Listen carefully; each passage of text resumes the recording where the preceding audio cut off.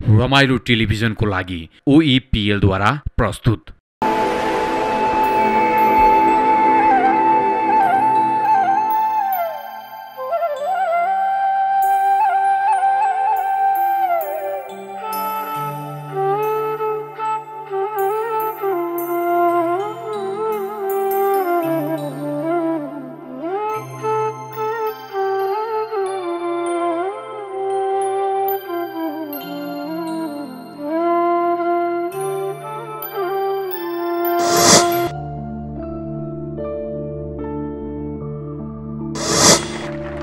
भगवान्ले सधैँ रक्षा गरून्।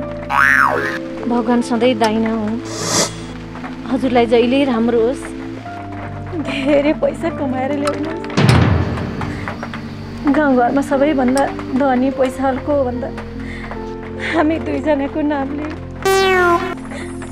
अरू त हजुरलाई के भन्नु र? हजुर आफै बुझ्ने हुनुहुन्छ।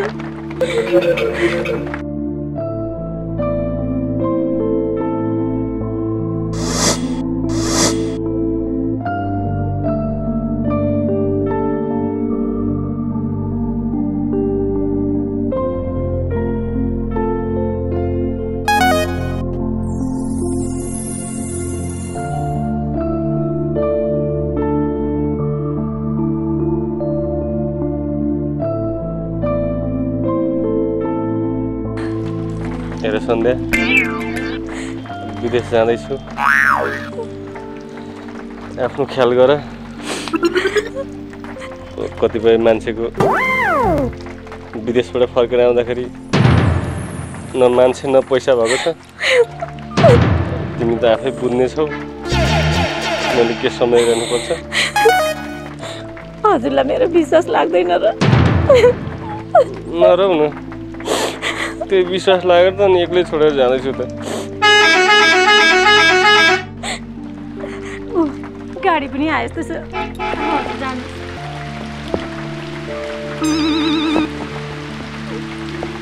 बुढी म लागेँ अब आफ्नो राम्रो ख्याल गर मैले तँलाई जस्तो छोडेर गएको आउँदा त्यस्तै पाऊँ नागेलाई पनि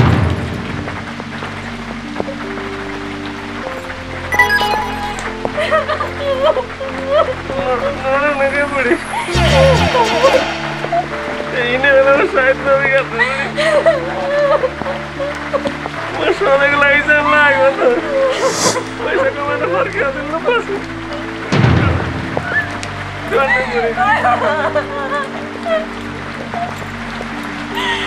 ha!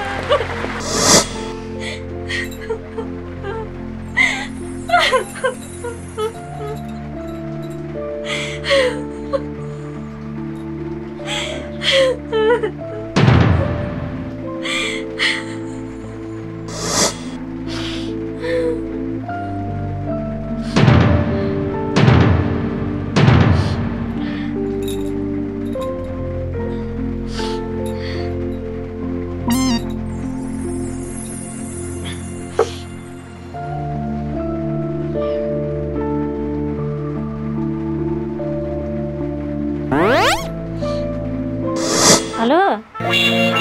राजेश तिमी कहाँ छौ? तिमीले र मैले जस्तो सोचेको त्यस्तै भयो। मेरो बुढा त भर्खरै बाहिर गयो भने। राजेश अब मेरो बुढा दुई तिन वर्ष आउँदैनन्। तिमीले मलाई साथ देऊ है। ल तिमी तुरुन्त आइहाल त। छिट्टी आऊ है ढिला नगरिकन। के अरे के अरे आज नआउने रे। ए तिमी पनि के खालको मान्छे हो के? मेरो माया लाग्दैन तिमीलाई? पहिला चाहिँ मेरो बुढो यहाँ घरमा हुन्थ्यो छिटो तिम्रो बुढोलाई बाहिर पठाउ न अनि हामी सँगै बस्नुहुन्छ भनेर भन्ने। अनि अहिले चाहिँ भ्याउँदिनँ भन्ने। अरू मलाई केही कुरा थाहा छैन है तिमी खुर्का आऊ के अरे आउँदा आउँदा एक घन्टा लाग्छ अरे? ए तिमी आधा घन्टाभित्रमा आऊ के? जसरी हुन्छ छिटो छिटो आऊ न। अब एक महिना त हो तिमीले हिँड्ने। त्यसपछि त म तिम्रो लागि बाइक किनिदिइहाल्छु नि। त्यसपछि बिहानै बाइकमा चढेर बजारतिर गयो। अनि साँझ परेपछि घरतिर फर्क्यो। त्यति गरेपछि गाउँको मान्छेले पनि नराम्रो सोच्दैन आज चाहिँ घरमै आऊ न के? कोही पनि हुँदैनन्? ए छिटो आऊ है। तिमीलाई कसैले देख्यो भने बुढो विदेश जाने बेलामा मेरो माइतबाट दाई बिदाई गर्न आउनुभएको भनौँला नि। तिमी चिन्तै नगर न। ल ल। ल बाई। छिटो आऊ है।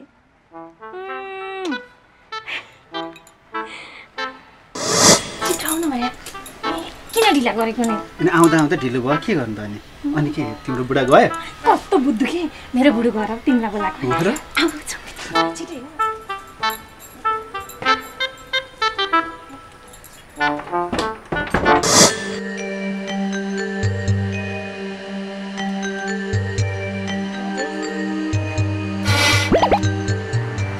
आज म कति खुसी छु है। म पनि धेरै खुसी छु आज। तिमी र मैले जे सोचेका थियौँ अब त्यही हुने भयो। अब हाम्रो जीवन सधैँ रमाइलो हुने भयो।